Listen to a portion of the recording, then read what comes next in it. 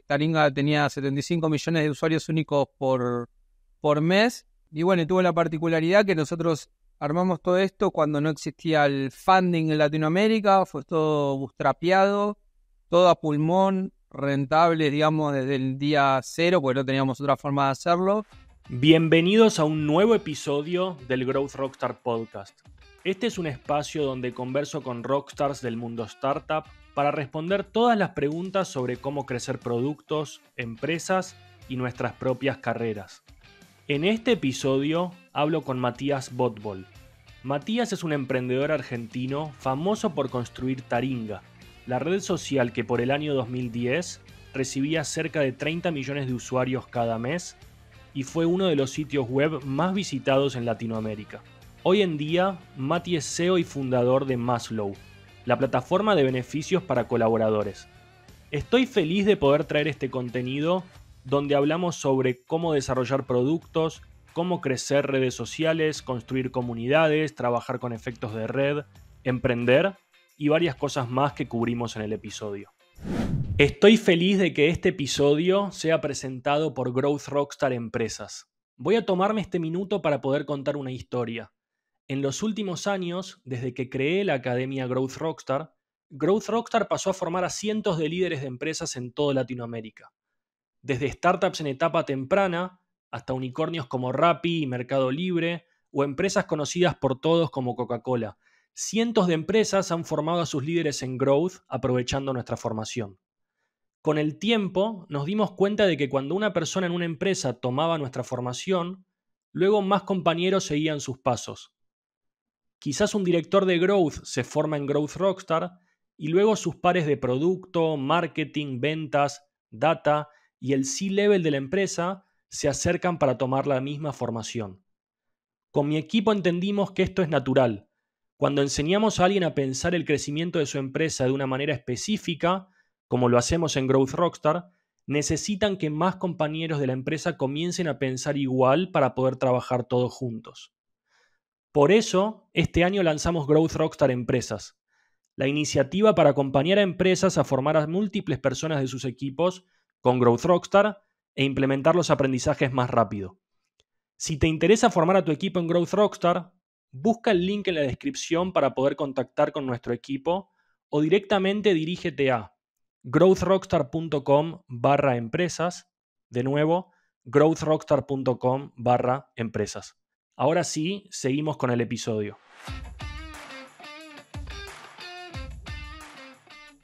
Mati, muchas gracias por sumarte al Growth Rockstar Podcast. Desde que hablamos la primera vez, esto no te dije, pero cuando hablamos la primera vez, cuando te conocí y te sumaste a la red, yo ya tenía en mente hacer el podcast este. Y esa vez que nos conocimos dije, seguro te voy a poder entrevistar. Y fue una de las cosas que me gustó mientras estábamos hablando. ¿Cómo estás? ¿Estás listo para empezar? Muy bien, sí, gracias por, por invitarme y nada, un placer acá compartir este rato con vos y ir contando un poco de experiencias y todo que ojalá sean útiles para la gente que escuche el podcast. A ver, yo tengo, tengo dos temas que quiero hablar con vos principalmente y voy a tratar de guiar la charla para cubrir eso. Por un lado, de tu experiencia con Taringa, quiero poder robarte todo el jugo que pueda o sea, tengo muchas preguntas para hacerte sobre eso, como te dije recién. Y después, cómo es, cómo es obviamente, después de estar 15 años con un producto tan grande, tan importante, pasar a emprender otro negocio distinto y poder robarte un poco de esas experiencias, de diferencias y similitudes, desarrollando distintos productos, etcétera, que creo que a todo el mundo le van a, le van a servir. Voy a arrancar si te parece, yo en estos capítulos a veces me gusta leer cosas que, me, que a mí me quedaron. Hace como dos meses vos subiste un post a LinkedIn que estaba por cerrar Taringa. Te juro, cuando te leí ese post me emocioné, de verdad. y hiciste un post largo que se viralizó mucho. Yo acá nada más transcribí un par de párrafos para meter a la gente que nos escuche en tema. Si te parece, me tomo 30 segundos para leer lo que yo transcribí y a partir de ahí empezamos. ¿Dale? Dale. En tu post dijiste algo como esto. Me da tristeza el cierre de Taringa. Desde hace un tiempo yo ya no soy parte, pero cuando miro hacia atrás me llena de orgullo todo lo que Taringa logró. Estoy muy orgulloso de que gracias a Taringa muchos hicieron amigos para siempre, algunos se conocieron, se casaron y hoy tienen hijos, aprendieron una profesión y hoy trabajan de eso. Gracias a Taringa, muchas personas pudieron entretenerse, sorprenderse con nuevas bandas de música, encontrar una película. Muchas personas pudieron aprender y estudiar, conseguir la información que les faltaba para terminar algún trabajo del colegio o la universidad. Gracias a Taringa, muchas personas que tuvieron un mal día pudieron divertirse un rato, llorar o descargar sus tensiones por medio de alguna discusión efusiva, pero divertida. Gracias por ser parte de Taringa y gracias a todos también por cambiar mi vida. Me vuelvo, me emociono de nuevo. O sea, está hablando un tipo que, me, hizo una startup 15 años. Te juro, lo leí y me emocioné. Y sí, yo no te conozco mucho, pero, viste, yo también soy emprendedor y decía, mira, si en 15 años me pasa esto. Podemos empezar, yo creo que mucha gente ya sabe, pero si nos escucha gente más joven, ¿puedes hacer una intro de qué, qué fue Taringa y a partir de ahí lanzamos la conversación? Dale. Bueno, todo eso que, que conté es un poco el final, que es un poco lo que se dio sin quererlo, por llamar de alguna manera. No es que eso, eso que pasó es el objetivo, por eso, qué sé yo, es un poco lo que dejó Taringa, ¿no? Pero la historia de Taringa empieza en el, en el año 2005, donde todavía no existían las redes sociales, está, o recién estaba surgiendo un Facebook, supongamos, y había una época que era más como de foros, una cosa como un poco más estática. Eh, y bueno, Taringa lo empezó un chico que estaba en el secundario, nosotros teníamos un, o tenemos una empresa de web hosting, empezamos a hacer canje con él y en el 2006 compramos el sitio y lo relanzamos al poquito tiempo. Taringa fue, digamos, la primera plataforma social donde la gente podía compartir información y que de golpe miles de personas lo lean eh, de una forma directa, sin un intermediario como solía ser con un diario, que ahora, o algún tipo de, de medio, digamos, de comunicación. Que ahora parece medio obvio, pero en esa época no, había un Twitter, no había nadie, o, sea, no había forma o era muy limitada la forma de expresar algo y que llegue a muchas personas. Por ahí alguien podía tener un, blog, pero no sé, lo leían 100, 200 tipos y nada más. Em, entonces, bueno, Taringa eh, fue como la primera herramienta que hubo disponible para poder lograr eso. Y a partir de eso, lo que empezó a pasar es que se empezó a crecer muchísimo la comunidad, también, digamos, con una identidad de, comunidad el hecho de que Taringa siempre tuvo como sus propios códigos, sus propias reglas, su propia como cultura y forma de comunicarse entre los usuarios. Entonces eso también generó como en una generación los marcó, digamos, porque es un, código que existe entre las personas que ahora por ahí eso no, no, no, está en las nuevas porque no sea de esa forma o transicionó y se evolucionó en algo que es mucho más global, pero de alguna manera nació en Taringa. También fue la plataforma más grande de la historia de Latinoamérica, en, de estas plataformas sociales. Taringa tenía 75 millones de usuarios únicos por, por mes. Y bueno, tuvo la particularidad que nosotros armamos todo esto cuando no existía el funding en Latinoamérica, fue todo bootstrapeado, todo a pulmón, rentable, digamos, desde el día cero, porque no teníamos otra forma de hacerlo. Em, y bueno, y muchas veces siendo los primeros en hacer un montón de cosas, que cuando uno es el primero que hace cosas es el que se suele equivocar más porque no tiene mucho de dónde aprender.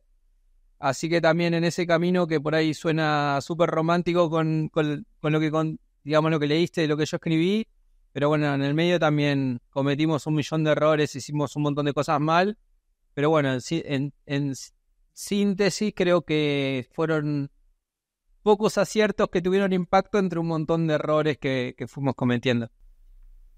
Me encanta que, que, digas esto porque, como decís, en un momento Taringa tuvo, como dijiste, setenta y pico millones de usuarios activos al mes. Estaban mencionados ahí por los años 2010-2012 como uno de los dos o tres sitios más importantes de la TAM como vos decís, está, es cuando Facebook se empieza a, tomar como muchísimo ¿no? protagonismo mundial. Es justo ese momento. Ahí, la pregunta que te quiero hacer es, hoy, hoy ya uno puede ver para atrás y ver cómo se construyó un Facebook, un Reddit, un Twitter. En el momento cuando, lo que vos acabas de decir, ¿no? Las equivocaciones, etcétera. Cuando vos estás construyendo esto, digamos, cómo, cómo trabajas, porque al final Taringa, cuando vos lo mencionás, en realidad no me mencionás directamente es una red social, vos decís más como que es un movimiento, ¿no? Es un tema, Uy, es, una un grupo, es comunidad. un grupo de gente. ¿Cómo construís eso, digamos? ¿Qué estás pensando vos cuando estabas ahí en el, en el medio del, del camino? ¿Qué estás tratando de armar? Lo que pasó con un poco con Taringa, ahí va, es como una mezcla de, cosas, yo creo, porque yo empecé en internet en el año más o menos 96. En esa época había una cosa, va, que sigue existiendo, pero ya no se usa, que es IRC, que son unos servidores de chat donde uno se conecta y a partir de ahí genera canales y habla. Sería como un Discord antiguo. Entonces, eh, ahí yo tenía un canal que creé que se llamaba Baires, que era en una red que se llamaba Undernet, donde se empezó a armar una una especie de primera comunidad ahí, que debía haber 200, 300 personas que se conectaban tipo todos los días a charlar. Y a partir de ahí empezamos a hacer tipo reuniones los viernes y nos juntábamos y se empezó a armar un poco esa cosa, donde había un montón de gente que de la vida offline, llamémosle, no teníamos nada que ver, pero teníamos algo en común, que era el hecho de que en esa época los pocos que usaban internet o medio los nerdis del momento.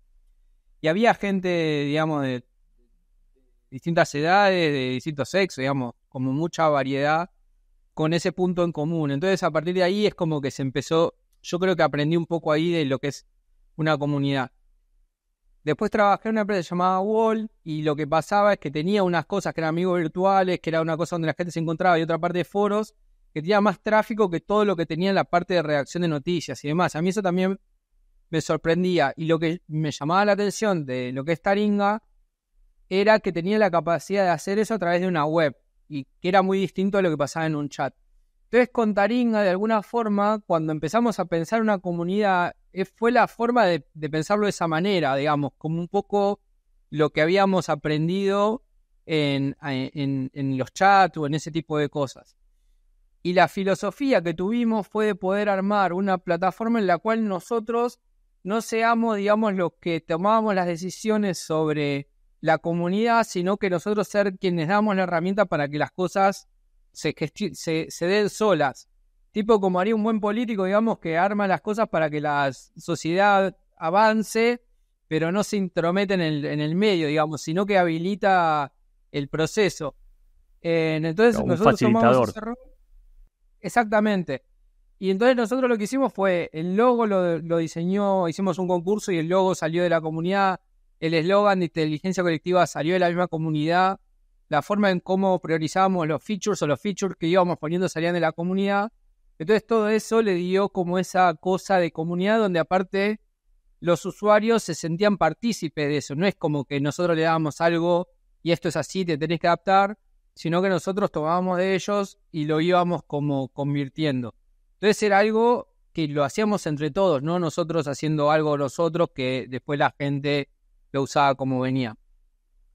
Yo creo que eso fue un poco lo que terminó haciendo como ese sentido de comunidad y también el hecho de poder como trascender eh, fronteras, ¿no? Que no sea solamente una cosa argentina porque había gente de un montón de países. También nosotros lo que buscábamos era que las personas sean quien son, no por quién son ellas como personas, sino por lo que compartían con los demás. Entonces no importaba si era rico, pobre, no sé, discapacitado, rubio, ¿viste? No importa, o sea, es lo que aportás y las cosas en común. Lo que hay de atrás, digamos, que pueden ser los prejuicios, no, no estaban. Entonces, bueno, eso también generó como mucha, mucha cosa que, que terminó como siendo esa comunidad y la tecnología como tal simplemente fue como la facilitadora de eso, pero, pero nada más que eso. O sea, el producto era poder hacer que eso pase. Pero, y Mati, o sea, cuando estás, en realidad es un poco, estabas haciendo esto en 2010 y es un poco la mentalidad cripto de después, ¿no? Como esto de las, o sea, me suena mucho esto de Sí. las DAOs y todo descentralizado, etcétera. Pero cuando estabas ahí, o sea, me quiero poner como en tu, en tu cabeza, estás en ese momento construyendo Taringa y estás, vos estabas ya viendo, o sea, mira- mirabas, me imagino, a Facebook, Twitter, Reddit, mirabas lo que ellos hacían, o, o vos decías, yo estoy en la mía y esto no es competencia. Eh, bueno, al principio no existía, o sea, sí existía Reddit, pero Reddit era como una cosa que era más de compartir links, que es algo que todavía existe, parecido a lo que sería un Meneame, una plataforma donde gente compartía links y lo subían o lo bajaban y, era eso. Después, nada, Reddit se transformó en otra cosa, más parecido a lo que también por ahí es Taringa, o que hay mucha similitud. Twitter como que no existía, Facebook era muy de la cosa de compartir experiencias personales y muy de la persona me fui de vacaciones, contacto a mi vecino, mi compañero, pero no tanto de la parte, que después lo hicieron, ¿no? Pero la parte de las comunidades o las cosas en común, o sea, era más de las relaciones entre las personas. Después sí lo que pasó, que nosotros fuimos aprendiendo mucho de eso, es cómo la gente empezaba a compartir información, porque en los 2005 la gente para compartir escribía tipo un artículo en un blog que era casi como una nota periodística, Después todo eso fue migrando más a micro contenido, donde la gente, gracias, y te escribe un titular, ¿viste? Es como que comparte una imagen y capaz que ni el título te escriben. Y antes capaz que para hacer un post en dos días. Entonces todo eso fue modificando un poco cómo es el consumo, las necesidades que iban teniendo las personas. Y bueno, a partir de eso nosotros tuvimos como que ir evolucionando el producto para que se adapte a lo que la gente estaba buscando en ese momento, porque, porque fue cambiando el, el uso, ¿no? Pero pero no había mucho para ver y era mucho de, aprender, qué sé yo, por ahí veíamos cosas que sacamos alguna idea, pero eran productos totalmente diferentes.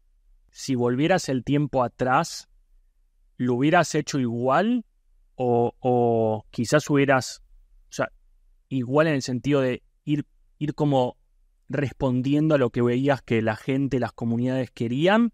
hubiera sido más de imponer, de marcar una línea y decir, che, queremos hacer el producto acá, por ejemplo. En Taringa los, los perfiles eran anónimos frente a otras redes que, eso te cambia un montón, ¿no? Donde, no sé, en Facebook, esto que decías, yo tengo mi perfil público y entonces me cruzo con mi familia, con mis amigos, me hace, me hace hacer las redes de gente mucho más rápido. Si volvieras el tiempo atrás, ¿tomarías decisiones que no tomaste ¿O crees que la, que la decisión correcta para una comunidad o para una red social es eso de que la misma gente, o sea, que, que, se, que se adapte a la gente, que le dé soporte? No, yo creo que la las cosas que vimos en ese momento, la forma que lo hicimos estaba bien. Creo que lo que nos equivocamos fue muchas veces en la solución. Que después con el diario del lunes uno dice, che, esto lo hubiese hecho así, hubiese funcionado mejor. Pero, mm, pero yo creo que la filosofía está bien y si tuviese que volver a hacer lo mismo, y creo que es un poco la forma en la que yo trabajo, incluso haciendo productos como lo de Malo, termina siendo medio la misma. O sea, uno en verdad lo que hace es trabaja para el usuario, lo que tiene que hacer es entender una necesidad e interpretarlo en una solución. Y esa solución puede estar mejor o peor planteada, pero tiene que responder a una necesidad de la persona o del uso que quiere, quiere dar la persona. Me gusta que me metas en, en, en Maslow, que es tu proyecto ahora, porque antes de empezar a grabar te decía, es un proyecto totalmente distinto a lo que estuviste haciendo por 15 años. Em, lo, voy a haber puesto en la intro cuando grabemos, pero Maslow es un, es un producto B2B de beneficios para colaboradores. Em, ¿Cuál es? Me decías recién, los productos son distintos, pero la lógica de cómo armo el producto sigo la misma. ¿Cuál es esa lógica? ¿Cuál es ese framework que vos tenés para construir productos digitales? O sea, hay un. El producto como tal tiene como un fin que es resolver algo o darle como una herramienta a una persona para algo, porque si no, digamos, no, no tiene un sentido. Entonces, dentro de esa herramienta que la persona utiliza, que puede ser tipo ser una plataforma social donde interactúa con otras personas, o ser una, una plataforma B2B donde la gente va y elige beneficios a medida, lo que estás haciendo es resolviendo como un, un, problema.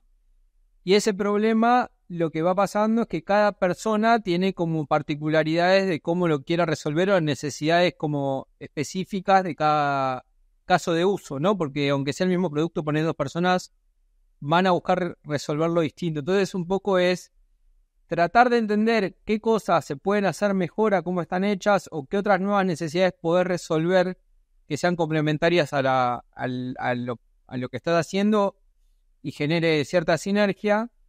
Y bueno, y a partir de ahí lo que yo, digamos, de alguna forma hago es como recibir el feedback, que uno ese feedback lo pueda recibir. En Taringa lo recibimos por, che, agreguen tal cosa o estaría bueno tal feature. O lo puedes hacer viendo cómo, no sé, un usuario navega y entendiendo cómo se equivoca y interpretar eso. O, qué sé yo, haciendo una encuesta o lo que fuese. Recibir todo ese feedback, entender, digamos, qué necesidad concreta, no lo que está pidiendo específicamente como el feature o lo que te está planteando con el problema, sino ir al trasfondo de qué es lo que el tipo está queriendo resolver. Y bueno, y a partir de ahí ver eso cómo impacta en el producto. Y después hacer como una matriz que tenés como una lista de cosas para hacer, el impacto que va a tener para los usuarios, hay 100 usuarios que te lo piden, no es lo mismo que uno, y después el costo de desarrollarlo, porque por ahí el costo de desarrollar eso es altísimo y por ahí haces cinco otras cosas que tienen un impacto capaz que mayor que el, otra, que el otro feature, supongamos. Entonces, en esa matriz, lo que terminan haciendo es como tratando de entender cómo la priorizás y lo vas implementando en base como al impacto que va a generar en, los usuarios. Y eso era algo que hacíamos en Taring, o sea, nosotros recibíamos feedback, lo que hacíamos nosotros es ordenarlo, entenderlo, cuál era el impacto, cuántos usuarios iban a haber impactado sobre eso, qué buena idea era en base a la visión que teníamos nosotros como producto, y a partir de ahí es como que lo íbamos ordenando, y bueno, había muchas cosas que se quedaban afuera, pero otras que, las tomábamos y las priorizábamos. Y ahora, bueno, con Maslow termina pasando lo mismo. O sea, tenemos múltiples usuarios, distintos roles que tienen distintos objetivos. Y bueno, y es agarrar cada uno y entender cómo lo, qué necesidades tienen, qué están buscando, cómo usar la herramienta o qué otras eh, soluciones le puede dar la herramienta. Y bueno, a partir de ahí empezar a buscarle como esa priorización y lo que es el desarrollo de producto en base a la, a la misión, digamos, que, tenemos. Cuando hablo con, gente y me, meto en temas de producto, algo que me gusta preguntarles es, o sea, cómo piensan el, cómo piensan el roadmap, porque ahí me encuentro con todo tipo de, definiciones distintas. Hay, mucho, hay mucha gente en producto que está constantemente desarrollando features y como que respeta una cadencia, ¿no? es decir, yo cada un mes tengo que despachar algo. Eh, hay otra gente que trata de de, despachar features más grandes, otros más chicas y se enfocan más en optimizaciones. ¿Vos tenés alguna forma que sea la tuya de trabajar en producto o, cuál seguís? ¿Qué línea seguís? No, yo creo que eso va, evolucionando en base a la maduración que tiene el producto. Eh, cuando haces un producto que estás arrancando, el roadmap no sé, no puede tener más de dos meses, porque vos no sabés lo que va a pasar con el producto. Entonces es imposible, como... Lo puedes hacer, pero yo creo que es un error, porque yo creo que el que hace un producto nunca puede saber realmente, puede imaginar lo que cree que es una solución, pero es una cosa viva que uno no lo controla, ¿viste? Entonces hasta que eso no empiece a ser usado, vos te podés haber imaginado una cosa fantástica, pero después cuando lo pones... Eh, en el mercado no, no funciona, o sea, le funciona solo para el que lo pensó y nada más. Entonces hay una, primero una cuestión de ego que para mí es como que uno no puede tener ego en ese sentido y no pensar que sabe la verdad, por más experiencia que tenga el producto. Entonces al principio es muy difícil poder tener un roadmap muy largo porque no, no podés adivinar lo que va a pasar, o sea, no hay futurología ahí. Y después lo que empieza a pasar es que, bueno, va tomando forma, empezás a aprender un montón del producto en base a cómo se va usando. Eh, eso, la idea inicial muta completamente y una vez que el producto, digamos, ya empieza a tener product market fit, lo que empezás a hacer es como a mejorarlo, ¿no? Y ir, ir haciendo cosas como para ir optimizándolo y ahí ya podés tener como una visión de roadmap un poco más larga porque ya, digamos, tiene ciertas funciones que las estás resolviendo y el producto es útil. Y bueno, lo que haces es como ir puliéndolo. Entonces no creo que haya como una única forma de hacerlo. Qué sé yo, no creo lo mismo viste un producto con un año a si sos Instagram. Eh, Instagram ahora o WhatsApp. Te mete un feature que parece una pavada, pero con la cantidad de usuarios que tienen, no sé, debe llevar seis meses poder planificar esas cosas porque lo tienen que testear, digamos, cualquier cambio que tienen es un impacto gigante. Entonces, bueno, ahí esos tiempos se hacen mucho más largos y bueno, ya es como un nivel de producto mucho más maduro que tomás decisiones muy diferentes a cuando estás arrancando. Me encanta esa, me encanta esa respuesta, ¿viste? Porque después siempre te encontrás con gente que tira un manual y me gusta gente con experiencia como vos que en realidad lo que dices, che, te tenés que adaptar, En realidad tenés que ver la etapa en la que está tu negocio y no hay una, no hay una receta más. No hay manual. Es que, es que cada vez más en estas conversaciones me encuentro con que no hay, con que no hay manual. Un tema del que no quiero dejar de hablar con vos es, volviendo más a la parte de Taringa, eh, esta es la parte la que tengo que satisfacer a mí mismo y preguntarte. Quiero saber temas de adquisición, adquisición, growth. Quiero entender, en una red social como, como Taringa, ¿cómo trabajabas vos o cómo trabajaste para conseguir usuarios? ¿Cómo, cómo llegaban los nuevos usuarios a, a Taringa? ¿Qué fuiste haciendo para que eso pase? En ese momento teníamos cero plata. Incluso, como contaba antes, eh, nosotros empezamos siendo una empresa de web hosting con cero plata. Y lo que empezamos a armar son como estrategias de adquisición donde sean orgánicas, que ni siquiera tenían ese nombre en ese momento, que básicamente era conseguir usuarios gratis, era como el término que teníamos. Em, y lo que hicimos primero con la empresa de hosting fue estudiar SEO, básicamente era un manual muy básico, lo que había SEO era un manual de buenas prácticas. Hacías eso y bueno, como que Google te lo, te lo rankeaba, digamos, porque era como la manera en cómo Google quería que se estructure la web. En ese momento la web y cómo se generaban las webs era como muy caótico, no había como un estándar y era todo, viste, había herramientas tipo el, el front page o el Dreamweaver o cosas así, todo lo que eh, usaban el Flash y era todo muy caótico. Entonces lo que hizo Google fue como armar un manual de buenas prácticas que era la forma en cómo a ellos les quedaba de alguna manera más cómodo leer la web y después cómo funcionaba todo el PageRank, que era el algoritmo que tenía en ese momento para posicionar las webs y todo cómo era todo el sistema de los referral y todo ese tipo de cosas. Entonces, ¿qué hicimos nosotros? Empezamos armando esa lógica, primero para, para empresa de hosting, ahí aprendimos un montón, y después cuando adquirimos Taringa lo que hicimos fue estructurar toda lo que era la plataforma con una lógica que esté totalmente optimizada para, para SEO. Y el concepto era que entraba el crawler de Google y que no salga más. O sea que todo el tiempo, ya sea por los meta tags, por los interlinks que teníamos, por poder navegar un post del siguiente al anterior, eh, qué sé yo, como pusimos un montón de reglas donde vos podías entrar a un, a un coso, a un post, y a partir de ahí era como que siempre ibas a estar interlinkeándote con algo parecido a eso relacionado, con lo cual la autoridad es como que funcionaba muy bien y fluía y lo que pasaba, empezaba a ser un tema y ibas como evolucionando que era un tema completamente diferente. Que es parecido a cuando uno entra a Wikipedia y empieza como a ver los enlaces y te va llevando a temas y terminás en un tema nada que ver con el otro, pero todo está como una cadena relacionada. Entonces armamos toda esa lógica y bueno, y a partir de ahí empezamos a optimizar para que Google indexe muy bien eso. Lo empezó a indexar, empezamos a, posicionar muy bien y lo que pasaba es que la gente buscaba cualquier cosa y Taringa siempre terminaba primero en los resultados de búsqueda. Entonces buscaba cualquier cosa y la gente ponía Taringa. ¿Viste? ¿Cómo arreglar la bicicleta? Taringa, pues ya quería que lo busquen Taringa.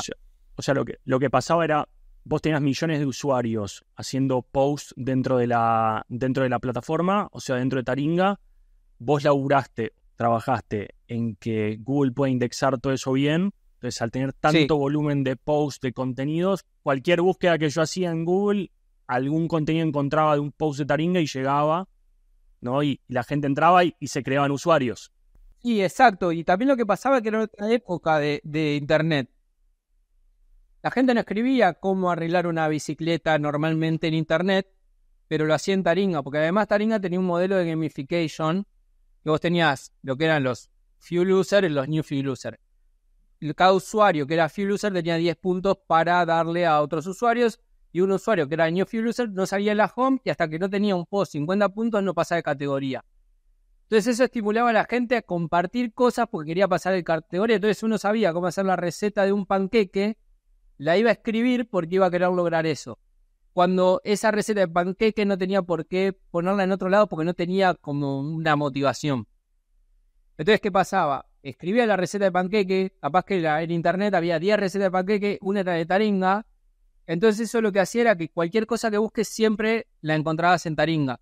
Y como la gente, como decías vos, entraba en Taringa una, dos, tres veces, la tercera vez entraba, se registraba y ya entraba dentro de la gamification, generaba nuevos contenidos que Google los, los leía y era nuevo contenido, cómo hacer cosas o de links a cosas, digamos, que no había en otro lugar. Entonces empezaba a generar ese como círculo virtuoso donde nosotros teníamos un, un, canal de adquisición que era Google, que nos traía a todos los usuarios, y después los usuarios nosotros, como con la misma plataforma, los terminaba reteniendo.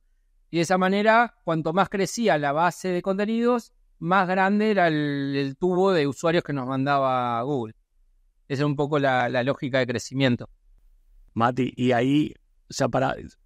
Quiero, quiero profundizar un poco más en todo esto que acabas de decir. Claro, porque vos ahí tenés el. O sea, la, la variable que vos tenías que, que, trabajar era que la gente, o sea, que los nuevos usuarios quieran producir contenido y después una vez que empiezan a producir contenido, que cada vez quieran producir más. Porque entonces eso hacía que cada vez tengas más indexado en Google y cada vez más usuarios ven. Sí. ¿Cómo lo motivabas? ¿Por, por, qué, ¿Por, qué, la gente entraba en este gamification? ¿Qué era lo que querían conseguir? ¿Status o, qué les daban esos puntos para que ellos quieran generar contenido? No, estatus y después también en esta cosa de recibir feedback, de otros. O sea, no había nada peor que escribir un post y que nadie te comente. O sea, lo divertido eran los, los comentarios y la discusión que se daba alrededor de eso. Parecido, no sé, cuando alguien ahora escribe un tweet y después te quedas esperando a ver cuántos likes tenés, cuántos te lo retuitean. Eso es lo que de alguna forma te estimula a tuitear, llamémosle. Eso mismo es el, digamos, como pasa en cualquier buenista, en cualquier plataforma, lo que buscas es el feedback de las reacciones de los demás. Entonces la gente también, el incentivo era que, poder lograr esa, ese feedback de los demás usuarios. Y para poder tener más relevancia tenías que aparecer en la home, porque si no, me digo que se te perdía con, con los demás. Entonces, de alguna manera eso incentivaba a los primeros a postear para aparecer ahí poder como empezar a recibir feedback. Y una vez que lograbas eso, era como que lo querías mantener porque teníamos los top posts de usuarios y bueno, un montón de cosas que dábamos medallas que lo que permitiera justamente generar esa como esa sinergia y esa viralidad dentro de, de Taringa me encanta esto. ¿Qué, era más difícil? ¿Hacer que un nuevo usuario haga un, primer contenido o que un usuario siga haciendo como contenido con frecuencia? ¿Cuál es la parte más complicada? Porque digo, esto que te pasó a vos en el 2010, le pasa hoy a TikTok, a LinkedIn, les pasa a todos. De hecho, TikTok, por ejemplo, nosotros, yo no usaba TikTok solo como investigación, pero no lo usaba personalmente.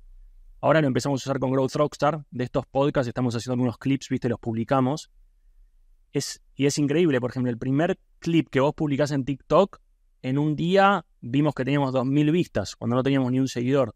Después, claro, cuando empezás a seguir usándolo, las vistas caen. Pero se ve que al principio te, te dan como esa visibilidad para que tengas ganas de seguir produciendo contenido. Sí, o sea, no me acuerdo ahora el, ratio, pero ponele de que el 100% de usuarios los que terminan generando contenido es el 5%. Ok.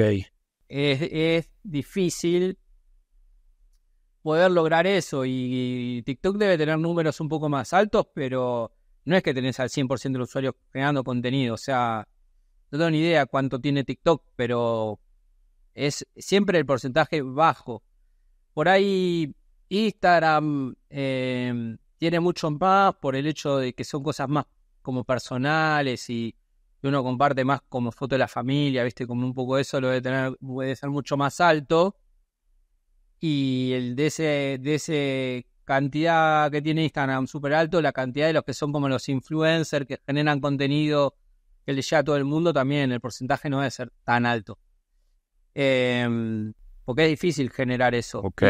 Y, nada, TikTok tiene, tiene bien armado esa forma de promocionar al principio. Parece que es re fácil ser influencer y te incentiva al principio y después, bueno, no sé cómo lo mantendrás.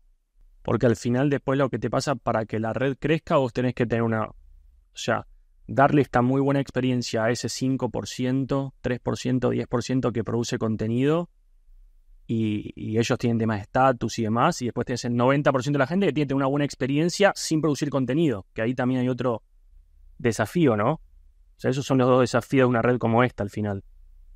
Que estén todos contentos. sí. es difícil de lograrlo, pero, pero sí, e, eso sería lo que uno busca. Y ahí te hago una, una pregunta que quizás sos el único que me puede responder, así que es bien de red social. Tema efectos de red. O sea, todas estas, todas estas empresas en los 2010 hicieron boom y, el, como que el, keyword era que tenían efectos de red, ¿no? Cuando nacen, o sea, cuando uno ve los, los decks de Twitter y todas estas, en alguna slide siempre dice, tenemos un efecto de red, entonces vamos a, a explotar. Sí. Que en realidad es justamente esto de que, de que al final es que más usuarios hagan que el producto esté mejor para, para todos los usuarios. Sí.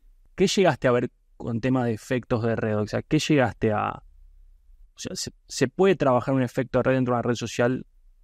¿Lo podés como ingeniar, o sea, meter ingeniería para que eso funcione así? Sí, o sea, la lógica del efecto de red, en verdad, yo creo que va más allá de red social. Uno tiene que tratar de lograrlo con un producto digital, básicamente. En donde lo que termina pasando es que a mayor volumen, tu costo cada vez es más bajo. Entonces, esa cosa exponencial que logras termina haciendo que, nada, sea como un cohete en el cual podés crecer infinitamente y cuanto más creces, más rentable sos. Eh, Malo tiene efecto de red y cómo está pensado el negocio con algo totalmente distinto, o sea que es un modelo B2B, lo tiene, no sé, Airbnb, lo tiene Uber, lo tiene cualquiera de estas plataformas que se convierten masivas. Lo que tiene, la dificultad que tiene eso, yo lo digo, es como un cohete que querés mandar al espacio, o sea, lo más difícil es el despegue y donde más energía vas a gastar, porque te tenés como que hacer el despegue una vez que llegaste, pasaste la, atmósfera, listo, flota solo, pero todo el esfuerzo inicial, cuanto más abajo estás, más, más fuerza tenés que tener para, para ir para arriba. Em, entonces uno lo puede eso planificar y después es como una estrategia de ver cómo lo logra y bueno, y ahí es donde un poco está el desafío, ¿no? De poder como generar ese efecto de red. Y una vez que lo logras, es como una especie de bola de nieve donde, donde empieza a, correr y empieza a, funcionar solo hasta que llega a cierto máximo que en un momento se, estanca, ¿no? Porque ya te comiste todo el mercado, no puedes hacer más. Em, que bueno, uno eso lo puede ver, qué sé yo, Facebook lo que empieza a hacer es comprar empresas, compró un Instagram, compró un WhatsApp y ahora se empieza a vender en realidad virtual, todo ese tipo de cosas porque mm, tienen los mercados saturados. O sea, WhatsApp no puede ver más usuarios de los que tiene, Instagram no puede tener más usuarios de los que tiene, bueno, empiezan a pasar esas cosas. Entonces tenés como que ir armando nuevas bolas de nieve. Pero no, yo creo que cualquier producto que uno haga digital, si quiere hacer un buen negocio, tiene que pensar una estrategia de efecto de red. Pero bueno, va a depender mucho del negocio. Ahí, ahí la pregunta, Mati, es, ya en la práctica, ¿cómo lo vas eh, pensando. Por ejemplo, te llevo al caso Taringa, que debe ser el, que más fresco puedes tener. O sea, en Taringa eran grupos de gente conversando, generando contenido sobre, sobre temáticas, no eran como, no sé, había, había gente que hablaba de autos, había gente que hablaba de películas. O sea, ¿cómo, cómo vas potenciando esas redes y haciendo que se creen más? O sea, eh, cuando estás en la práctica, en el día a día, trabajándolo, hay cosas que vos recordás que fuiste haciendo o o me, o me decís eso se genera solo? Bueno, lo, de la estrategia es, de SEO es un efecto de red. Porque arrancamos con miles de usuarios generando un contenido. nuestra canilla de adquisición con SEO era finita, pero nos empezaba a aumentar eh, la cantidad de contenidos y de usuarios. A medida que eso agrandaba, el, el, ancho de banda de Google era más grande, porque teníamos más cantidad de contenidos, más interesantes, y los traía más usuarios, que generaban más contenido, más interesantes, y bueno, y a partir de eso, eso fue escalando. Y llega un momento donde vos sabés como usuario que yendo a ese lugar tiene lo que vos estás buscando de una forma tipo instantánea y, si publicabas algo en Taringa, el segundo tenías comentarios. Si te vas a otro lugar que es más chico, que todavía el efecto de redes es más chico, es mucho, la, la respuesta que tenés es mucho más lenta. Entonces eso lo que termina pasando es que te termina siendo un imán para más usuarios y eso es un poco el efecto de red. Entonces lo que hace es que, es como un multiplicador. Pero eso se da en distintas dinámicas. Lo puedo llevar al caso de Manlow. Nosotros lo que hacemos es, tenemos eh, una plataforma donde negociamos con nuestros partners en beneficios para disponibilizar en la plataforma. Lo que hacen las empresas es nos contratan, le dan créditos a sus usuarios, que son sus empleados generalmente, y con esos créditos acceden a beneficios. Esto tiene un efecto de red en el hecho que nosotros somos un canal de venta para los proveedores de beneficios, nuestros aliados. Entonces, a medida que vamos teniendo más usuarios, les traemos más volumen de negocio, les podemos pedir que nos hagan mejor precio, porque les traemos, le bajamos los costos de ventas y les generamos más revenue. Entonces nos van a hacer más descuento, porque ellos a la vez tienen como más volumen. Nosotros agarramos ese mismo precio, lo ponemos más barato para nuestros usuarios, hacen que sea más competitivo para, para las personas y eso atrae nuevos clientes que nos van a traer más volumen de usuarios y lo vamos a comprar más a los partners. Y a partir de ahí se arman, va armando como ese efecto de red con beneficios. Y cuanto más usuarios tengamos, mejor vamos a negociar, mejor va a ser nuestra propuesta de valor, más usuarios, y ahí es como que empieza un poco esa, esa bola de nieve.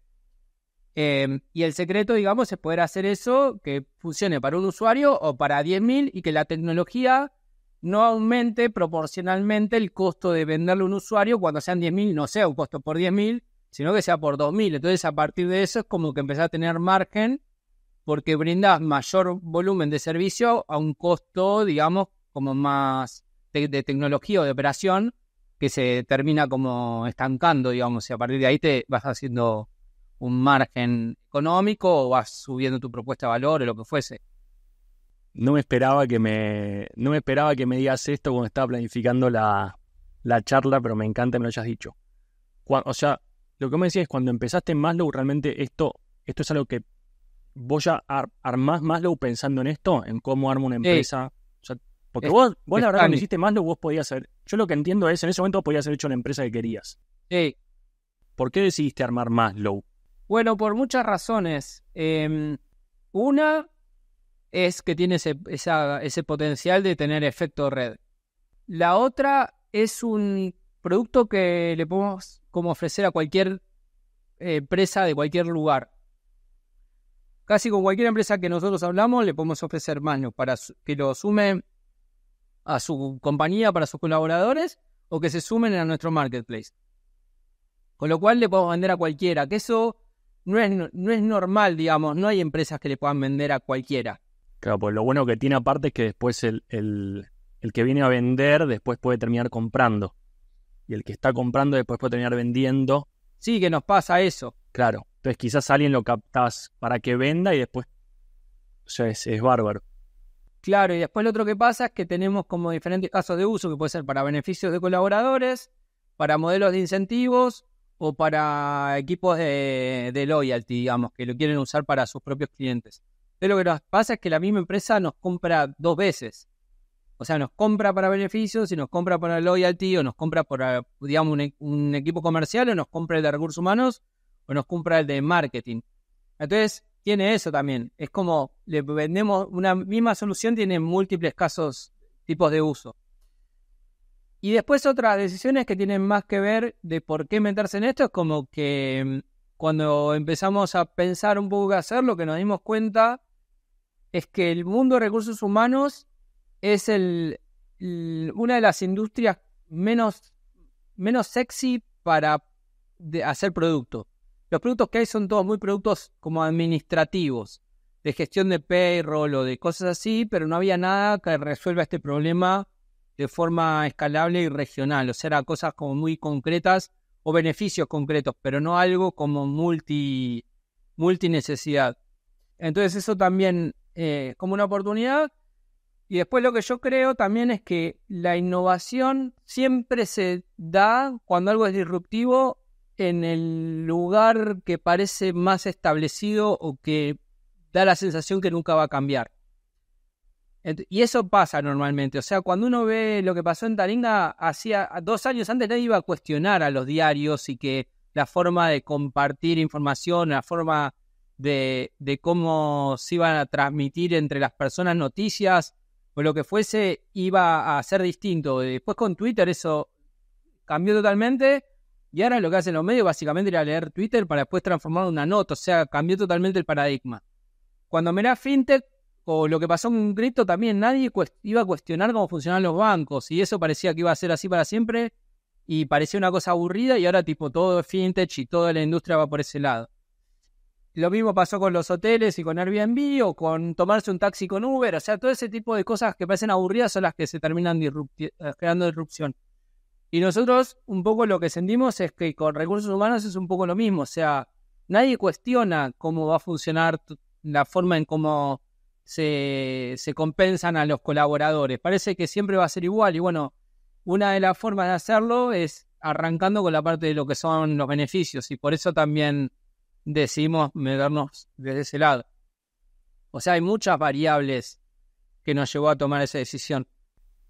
Ahí me das pie a hacerte hacer otra, pregunta. Yo tenía una pregunta que te quería hacer, no sabía hasta que te escuché ahora si realmente si estaba si estaba para hacerla, porque es medio abstracta, pero ya vos desarrollaste una quizás la quizás la respuesta a lo que te iba a preguntar me la acabas de, de dar, pero vos desarrollaste una manera de ver cuál es cuál es lo próximo que va a suceder, porque cuando yo veo tu historia, y esto de nuevo, ah, creo no lo hablé como, pero cuando veo tu historia digo, che, vos sos un tipo que en los 90, cuando empieza Internet, empezás a diseñar sitios web. En los 2000 empezás a hacer hosting de páginas web, cuando quizás nadie tenía un hosting. En el 2006, cuando Facebook nació en el 2004, vos ya estás con Taringa. En el 2010, Bitcoin valía un dólar, vos ya estabas metido en Bitcoin y cripto. Ni lo, ni, o sea, podíamos hablar un capítulo entero sobre cripto porque sé que en Taringa lo recontrametiste. Ahora me decís lo mismo para la nueva empresa que es Recursos Humanos. O sea, ¿vos desarrollaste una forma en tu vida de, decir, che, ¿en, ¿en, qué me meto? ¿O estas cosas yo las analizo así, pero a vos se te fueron dando? Si vos me decías seis meses antes de que arranquemos con más lo que iba a hacer cosa de recursos humanos, te hubiese dicho, tipo, ni a palos. O sea, no, no, lo hubiese imaginado. yo creo que lo que termina pasando es como poder en, no sé, em, como tratar de, viste, de, ser como un inventor en un punto y pensar qué se puede inventar y qué cosa está fallando y a partir de ahí empezar a tomar esas variables que decía antes y buscar una, como una solución a eso. Y también yo creo que a mí lo personal lo que me termina motivando es como, viste, cuando la gente habla como de sus propósitos y tiene un propósito en la vida, a mí un poco lo que me pasa es como que me gusta la cosa de, como la disrupción, de romper algo que existe. Entonces Internet me gustaba por eso, tipo cripto me gustó por eso, Taringa me gustó porque tipo está enojado con los medios de comunicación. Y ahora por ahí ya estoy un poco más viejo y bueno, recursos humanos en el que vamos a romper recursos humanos, pero es como, che, acá hay una re oportunidad de cambiar esta forma de cómo funciona el mundo y encima funciona mal en todo el mundo, no es que tipo es en un país. Esto es global.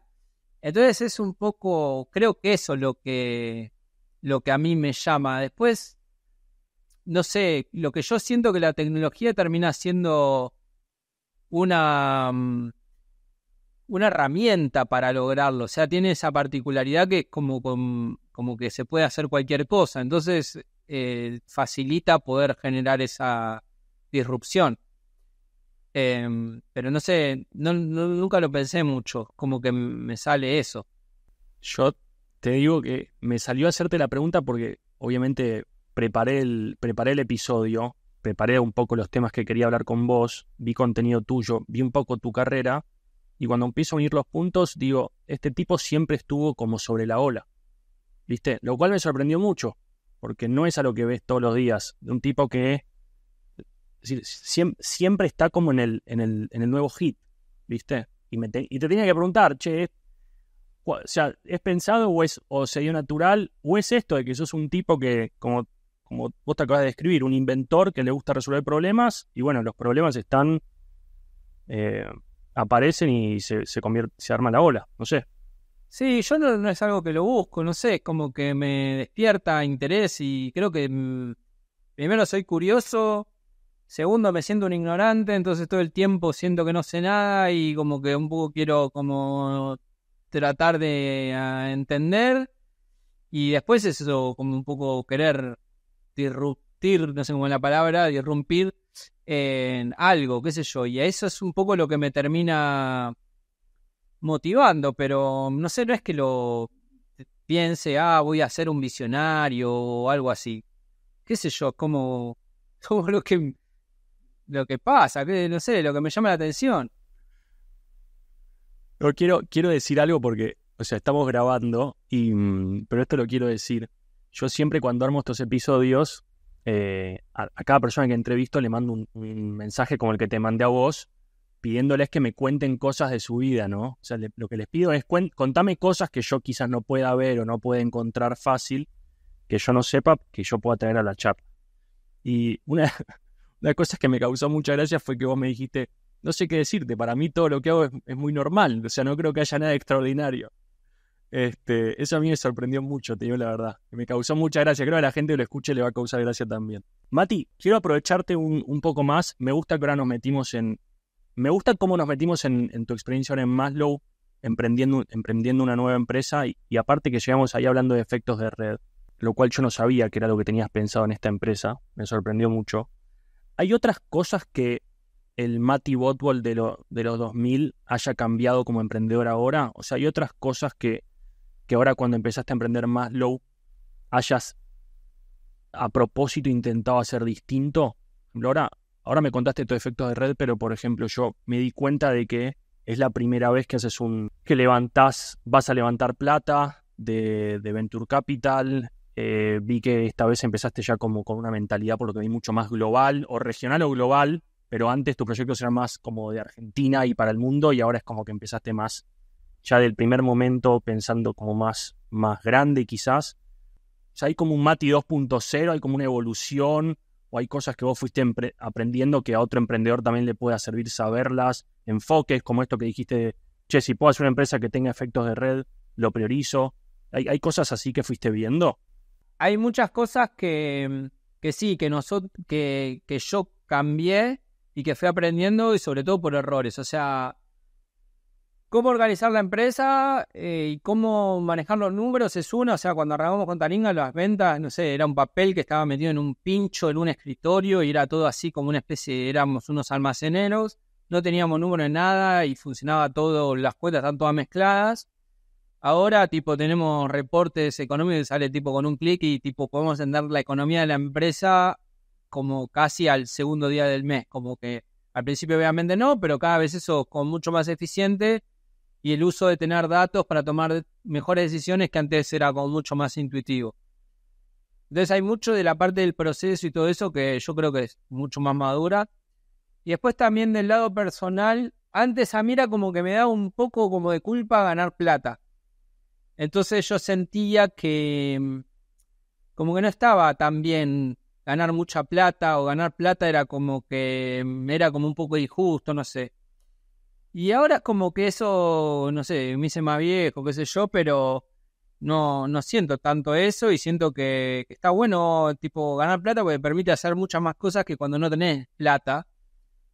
entonces también el modelo de negocio como tal si bien tiene como un propósito, también hay un, un propósito económico importante, ¿no? Que antes por ahí lo económico yo lo dejaba más como un segundo plano y me parecía más importante el impacto que, que la plata. Y ahora es como, no, como que las dos cosas tienen que ser importantes.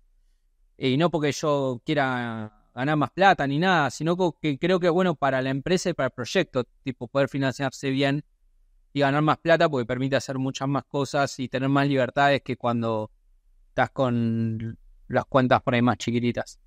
Y después también muchas cosas de lo que tiene que ver con, con el equipo. Eh, ni cómo pensar el equipo y cómo funciona y demás. A mí, por ejemplo, un, un libro que me cambió la forma de pensar es uno que se llama Good to Great, de un, un escritor que se llama Jim Collins.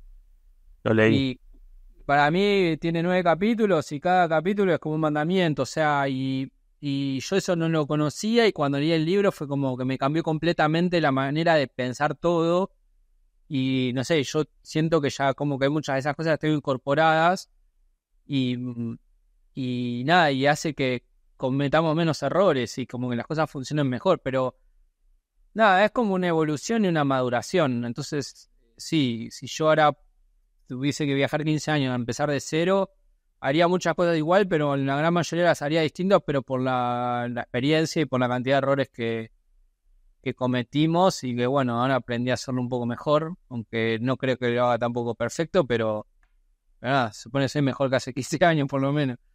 No, seguro que sí. Sí, y, además de eso, o sea, yo creo que hay, hay mucha gente joven que sea que, que esté emprendiendo o empezando a emprender que a un tipo como vos lo debe mirar, ¿no? Te debe seguir. O sea, los tipos que hicieron cosas importantes en la región. Eh, entonces no puedo dejar de, hacerte este tipo de preguntas. ¿Hay algo más que vos a, a, ese emprendedor más joven le recomendás hoy que, no sé, que tenga en cuenta, eh, que priorice desde el día uno, algo que te venga a la mente? Hay varias cosas. Siendo emprendedor, no importa cuántos años lleves emprendiendo, eh, hay como una, es como un poco tortuoso el camino, ¿no? Porque hay días como que sentís que te va recontra bien y que sos tipo el más grosso del mundo y al otro día, viste, te comiste dos piñas y, y preguntás tipo, ¿quién mierda me mandó a hacer esto? Porque tipo te querés matar. Em, y eso vos lo hablás y le pasa a todo el mundo y es como muy frustrante porque te terminás sintiendo re mal y en verdad es tipo, es normal. A todo el mundo le pasa eso y es raro que no te pase. O sea, después te terminás acostumbrando y a mí me pasa, ya que me levanto y digo, ¿quién me mandó a hacer esto? digo, bueno, listo, tipo, este día me la voy a tener morfar, mañana seguro voy a estar mejor y ya asumo que me tocó el mal día. Entonces hay que tener como cierto aguante de bancarse eso porque no es fácil. Eso por un lado. Después lo otro es que uno de, no sé, de 10 cosas que hace, eh, una la hace bien, el otro no las, las hace mal, o sea, y también no importa cuánta experiencia tengas, siempre estás equivocando. Entonces una cosa importante para mí es tener como una visión optimista, pero también, viste, no, no fumarse el propio humo de uno y, y no creerte que te la vas a saber todas, porque después lo que termina pasando es que uno cuando toma decisiones no es muy consciente de qué puede estar fallando, porque en el momento de tomar la decisión no lo ves hasta que tipo te das cuenta.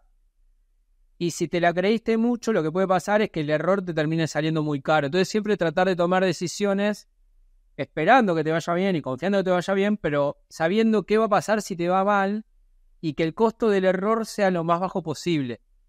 Entonces de esa manera no quedarse eh, nada, tipo pata para arriba porque te, la, te confiaste y cuando te diste cuenta que era una decisión incorrecta, tipo, nada, te la, te la pusiste. Entonces, bueno, tipo, aprender un poco eso, como que equivocarse es lo, es lo normal y, bueno, y tratar de tomar las decisiones pensando que seguramente fallen y cómo no, no, no ponérsela. Y mm, creo que esas dos cosas. Y después, bueno, el hecho de poder estar siempre tratando de, aprender, porque cuando uno se cree que se la sabe todas, también ahí deja de aprender, ¿no? Entonces siempre es tratar de saber que uno nunca se la va a saber toda, aprender de los demás y bueno, hay gente que va a ser mejor que uno en distintas cosas y, asumir eso y tratar de aprender de todos, incluso de gente que por ahí uno la ve super junior y tiene cierta cosa de cómo la resuelve, con ese fa, o sea, qué facilidad que tiene, o qué inteligente cómo resuelve esto y, poder aprender de todo el mundo, digamos, el que está allá arriba o el que está allá abajo o al costado, digamos, todo uno puede aprender de todo el mundo. Entonces siempre tratar de tener como esa humildad de, poder aprender porque, porque nada, todo cambia todo el tiempo, entonces uno siempre la está medio corriendo de atrás. Entonces es importante para mí tener cierta humildad también para, para poder, como, poder seguir desarrollándose. Y esa, esa última que decías, evidentemente se, se repite porque hace dos semanas me junté a grabar otro episodio con, con Juliana Aldana, que es otra, es una, chica de mi red, em, crack, en venta sobre todo, y una de estas cosas que me dijo es sobre la importancia de un coach, por ejemplo, para ella específicamente, me dijo, ella lo que pensaba en su vida era, a medida que se iba siendo más senior, eh, como doble esfuerzo en tener gente que la acompañe, ¿viste? Coaches, etcétera. Justamente porque dice esto, el ego va creciendo y cuando el ego va creciendo tenés que, tenés que poder acompañarlo bien. O sea, eso me, eso me parece que está bueno como, como consejo siempre. Mati, nos queda para un próximo episodio hablar de toda la, de toda la experiencia cripto que hiciste. Sí. Cuando estaba investigando eh, para prepararme para hablar con vos y vi todo lo que fue la movida cripto en Taringa y creo que en algún, en algún video escuché a tu hermano decir como que en Taringa en algún punto habían, eh, habían le habían pagado como 150 millones en Bitcoin a, la gente de la comunidad, etcétera. Dije, acá hay una rehistoria. Sí. Eh, eso fue lo que te digo de las olas. Creo que hoy, si siguieras, si siguieras en Taringa, quizás estuvieras haciendo cosas con inteligencia artificial. Viste que ahora Reddit hizo un acuerdo con Google, OpenAI, son inteligencia artificial. Veía todo eso y dije, che, si Mati siguiera con esto, estaría haciendo esto en este momento. Sería la cuarta o quinta hora de tu eh, vida. En su momento por ahí no es tan público, pero nosotros toda la parte de moderación de imágenes la hicimos con una especie de inteligencia artificial en el año 2014. Em, teníamos todo un sistema para moderación de imágenes. El gran tema es las imágenes adulto, de gore, ese tipo de cosas. Y era muy difícil moderarlo y armamos como una cosa que detectaba piel y detectaba un montón de cosas y después nos hacía más fácil moderar. Una vez que moderábamos una imagen, creamos que tenga como una especie de ID digital, esa imagen, por cómo estaba creada los píxeles y como una especie de algoritmo medio de encriptación. Y de esa manera, si alguien posteaba esa imagen, ya automáticamente se iba como eliminando. O sea, de ahí como que un poco hicimos. Y sí, después de cripto también, un poco lo que, si querés te cuento como muy rapidito, lo que nos pasó, la necesidad de algo hecho en cripto en verdad nos surgió sin saberlo en el año 2009, que nosotros hicimos un libro de los tipo, como tarea tan virtual, queríamos hacer algo físico, hicimos un libro que era un libro para ir al baño, no existía ni el teléfono en esa época celular casi. Entonces era un libro que uno iba al baño y leía cualquier página y era interesante y después todo era como que tenía cierta correlación. Cuando hicimos el libro quisimos decir, che, es injusto que nos quedemos con, la plata del libro porque la escribió los usuarios, deberíamos pagar a los usuarios por esto, pero no lo podíamos hacer, entonces decidimos donar las ganancias del libro a un techo para mi país. Después cuando apareció Bitcoin en el año, creo que fue 2011, 2012, está Wences Casares, que, que para mí es como el, mi ídolo máximo, es el Messi para mí de, Internet.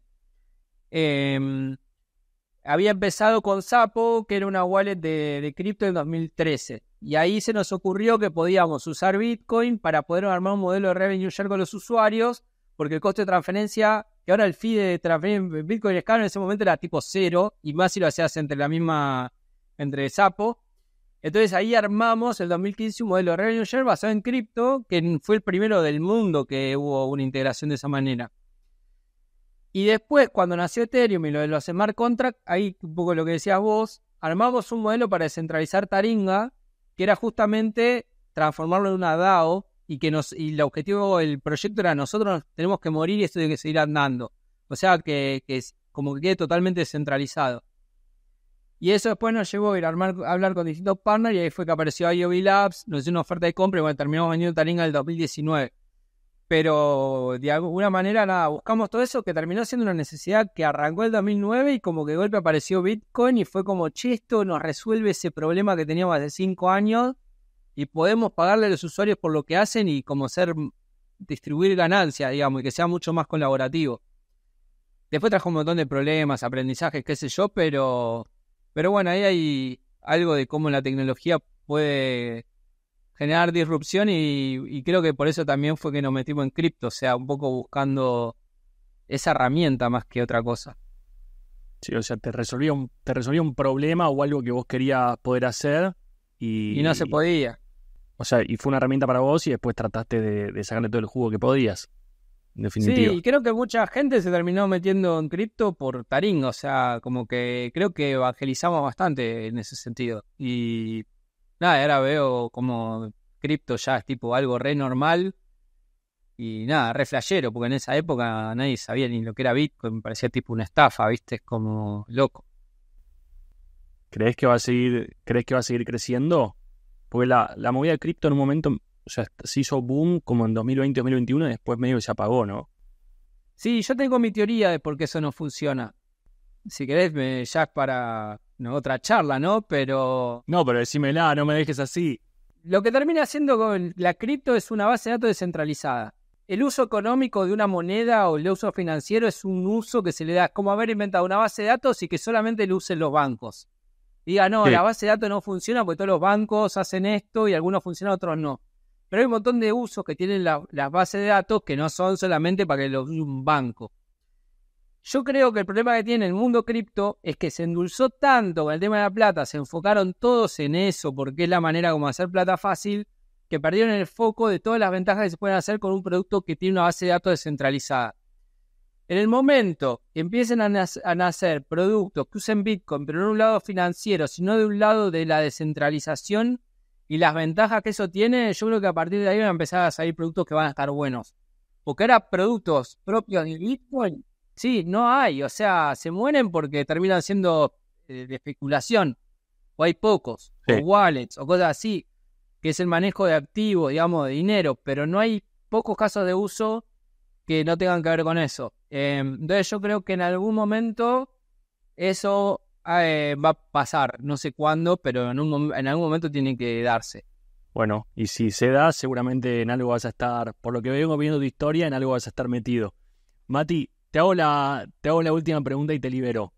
Siempre cierro este, estos episodios preguntando cuál es tu growth win del año. ¿qué es, ¿Cuál es el mayor logro, eh, lo más importante para vos que te haya pasado el, el último año? Creo que fue aprender a, vender de una forma diferente. Yo soy muy mal vendedor. Sigo, sigamos, no, no sé vender igual todavía, pero aprendí a entender un poco más la venta y aprendimos a poder vender enterprise, que es algo que nunca había hecho, que no sabía y ahora con manos lo estamos haciendo.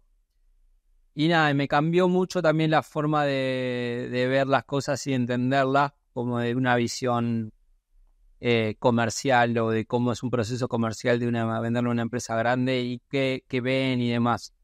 Que creo que eso suma mucho también para, para la parte del desarrollo de, de negocios, digamos, que era algo que no, no sabía hacer para nada. Es difícil para todos vender enterprise, pero todos en algún momento tienen que, tienen que llegar, por lo que veo. Ahí sí, es algo bueno. Mati, Hey, mil gracias por, por sumarte. Y ojalá nos quede, ojalá nos quede la próxima para hacer algún capítulo más enfocado en seguramente más temas, como dijiste recién, que quedan por hablar. Pero mil gracias por tu tiempo. No, muchas gracias, un placer. Muchas gracias por escuchar este episodio. Si te agregó valor, te hizo pensar, te dio nuevas ideas, por favor considera suscribirte al podcast en Spotify, Apple Podcast o tu aplicación de podcast favorita y compartirlo con amigos y compañeros de tu empresa.